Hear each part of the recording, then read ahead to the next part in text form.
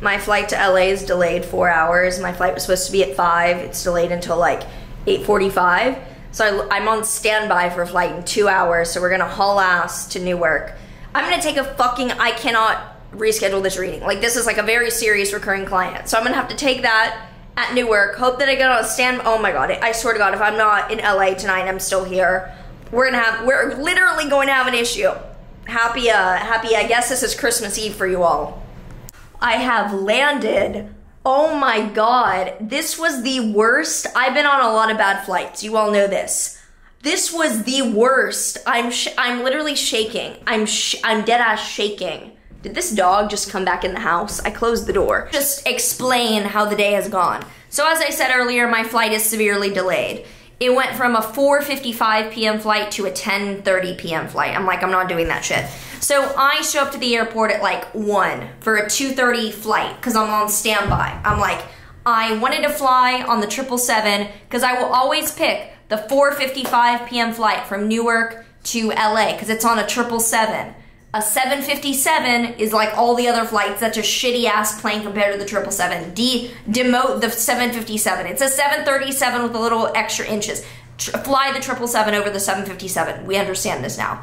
Um, anyway, I'm like, whatever, we're gonna have to fly on the shittier plane. Let's just get me to fucking LA. So I'm on standby on the 2 p.m. flight and they're printing out my pass because I I'm Premier 1K status, so I go to the top of standby every time, and I'm on standby for business automatically because like I paid United my fucking livelihood basically.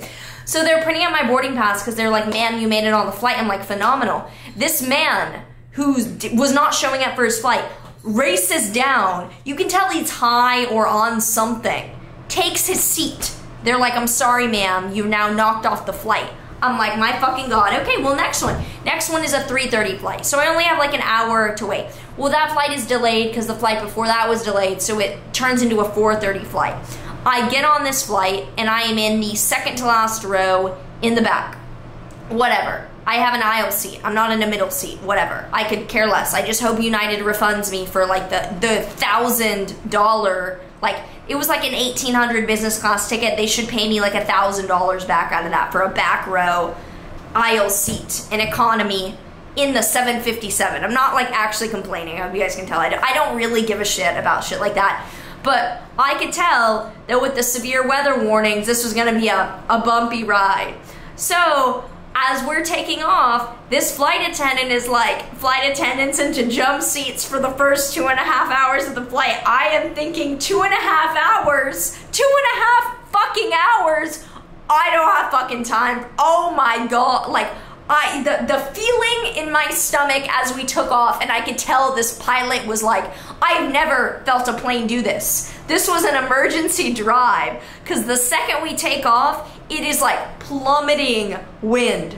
Fucking a brutalization of the aircraft. Like the kind of thing where it's like, it's not just like, oh, jittery, ooh, it's like, oh my god, like, oh my god. So the flight, the, this pilot puts us into fucking ninth gear. I've never felt this. It was, we were on a literal rocket going straight up.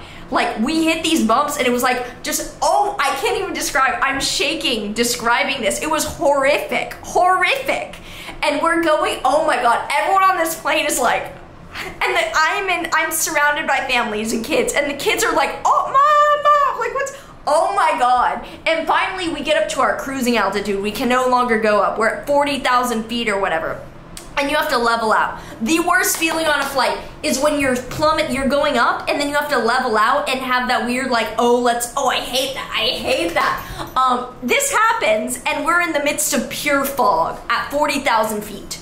The, the the storms, horrific, horrific. And he's like, it's gonna continue on to Chicago. I'm like, oh my god. So dead ass, I'm holding on I am, I'm, I am, no one knows this but the girl next to me who can see me palpitating. Just like, I'm looking at the flight map on the fucking horrible uh, entertainment screen because 757 is a shit plane. Demote it, let it go. Finally, after Chicago, things do calm down a little bit. Fasten seatbelt sign goes off. I can go shit myself just to death because horrific flight. Then we get over Denver and I looked up the article about like severe weather. I have the turbulence tracker on. I have all the turbulence trackers on. I know exactly what's going to happen here. I know that the flights are canceled from New York, Chicago, and Denver. So I know as we're approaching Denver, shit's about to get real. Oh my god. It wasn't the same, but like it was bad enough to where it was just like re traumatizing. I just, I can't. But the cool thing, the very cool thing was that I sat next to the girl who fucking took this picture. My life is just like a synchronicity, like dream, literally a dream. Like she took this picture. She said it was just a stock photo that's edited and it wasn't meant for this specifically. Like Vaquera used it for the suitcase. But that's been my day. And I've just been thinking about how it's already Mercury retrograde shadow. So this is my Mercury retrograde shadow story. Because this Mercury retrograde in Capricorn starts December 29th. And it's not the end of the world by any means. This Mercury retrograde, let me repeat, this Mercury retrograde is not the end of the world. It is nothing that is that bad. This Mercury retrograde is conjunct Venus. It looks like a good, we're gonna go back, we're gonna rethink things.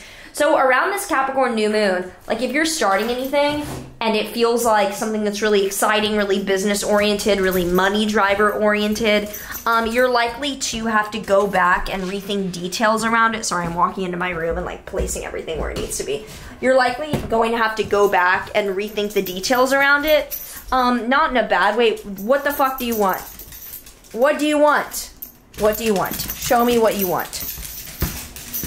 Do you want food? He wants food. Um, anyway, this Mercury retrograde shadow is kind of a preview on what you might have to be rethinking or redoing. And I believe, like for me, this is in my first house. This was just like my behavior and my actions being, I'm dumping these like dog treats on the ground right now. Let's just take a moment. Oh my God. Oh my God. Oh shit. Oh my God. My friend. Oh my God. I'm sorry, Danny. Oh my God. I have to pick up the dog treats now. Um, there's so many here. Let's just put these all. this is so bad. I'm so sorry, Danny. Horrific. Um, okay, well. I'm so sorry, Danny. You're gonna see this and be like, oh my god. Well, Juju, enjoy your treats. Watch for the actions that are taking place that are inconvenient around this time. Because retrograde shadow is like a preview. It's not as bad. Like, I fucking got to LA. I arrived here. Did I do it easily? No. Am I a mess? Like, when I'm laughing a lot, you know I'm extremely tired. That's the only time I actually uh, laugh. The other time, it's like just like masking, really. I've just like learned to laugh at things when I don't care to laugh at much. Um, look at your own life and the actions and the things that are happening that are inconvenient, that are unstructured, that are just like inconveniences. Um, and this Mercury retrograde, like I said, is not the end of the world. It's minor inconveniences, but the preview is now. So look at what's happening now. It's a it's a look into it. And for me, it's about my decision to like do things. I'm actually so excited for what I'm starting before this Mercury retrograde, like under this new moon.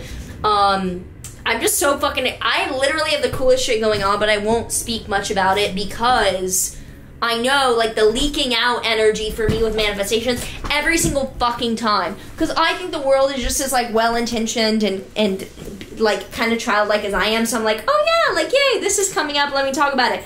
The energetic like drain and leech and everything from that is just horrific usually. So we're no longer talking about it. But if you need to start anything, I would do it now before Mercury's actually retrograde on the 29th.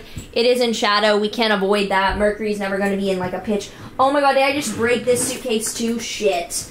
Um, but it's never going to be in a perfect position, but it's not in a bad position. So don't be worried about the Mercury retrograde, but do know that, um, yeah, these things are coming up, so you might want to prepare accordingly. If you're flying out of the East Coast this weekend, blessed be thy name. Oh, this is coming out on Christmas Eve. I hope you guys are alive over there. Um, not because of the cold, it's not actually that bad. It's just the flights. So if you're taking a flight, blessed be your name. And now I'm saying fucking Christmas hymns from my childhood. You know that was you you know during this plane going down, suddenly the Christian kid in me was like, "Oh Lord, like come back to me." If you want to see what a vegan dessert haul from Erewhon looks like, there's a, I'm gonna show you. I was gonna make up some funny metaphor, but there was like nothing on my mind because, like I said, I'm delirious. This was like I'm gonna be honest. This was $114 total. That is insane. That is insane. I cannot believe that. I'm just like, sure. But you know, you only live once. Anyway, we have a raw Katie cake. Do you see the texture on this? Basically, it's like sweet caramel and then chocolate on the bottom. It's I don't know what a Katie cake is, but it's a raw Katie cake. Fun. Um, we have uh, raw cookie dough cake. I've shown this one before. This is one of my favorite desserts at Erewhon. It's the same brand, just like different setup here. Um, we have a raw cinnamon roll. This is my favorite like Erewhon brand dessert. We actually have two of these. I'm getting one for myself and then one uh, for the person who's getting all of these basically. Um, I have a vegan tiramisu. This is also bomb. I've had this once. This is like a very good, this is a very good dessert. So 10 out of 10 for this one. And then I got my favorite chocolate bars. So you all know that this is my favorite chocolate bar ever for chocolate toast. Put nut butter and a date on it. It's phenomenal. And then I also have had this one, the lemon ginger mocha one. It's pretty good. And uh, Hu Kitchen cashew butter. It's cute. Um, for me and my actual like meal, Firstly, I like the watermelon kiwi. This, it has CBD. I don't notice CBD does anything to me, so I don't really care. I have some, uh, the, the San Diego tempeh. I love this tempeh. It's marinated really well, so um, yeah, appreciate that tempeh. And then the bowl I got does not have buffalo cauliflower. This was so sad. So I saw the last person take the buffalo cauliflower from the hot bar, and I went up and I asked. But what was really nice is that they were running out of Brussels sprouts, and the cute guy in front of me was like, split them between us. And I was like, okay, because he was gonna like get all the Brussels sprouts, and I was gonna, gonna get either none or like one. So he told them to split them evenly, and that was cute.